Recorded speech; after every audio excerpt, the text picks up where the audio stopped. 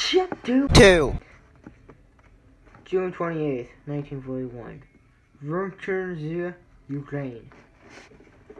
I huddled close to my sister under the com- comfort and